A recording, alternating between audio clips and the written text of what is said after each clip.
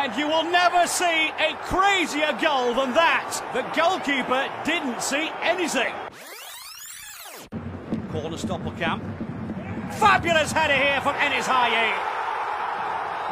Oh, wait a minute. Had the flag up here. I'm not sure whether he was offside or not, but the goal's not given. Newland.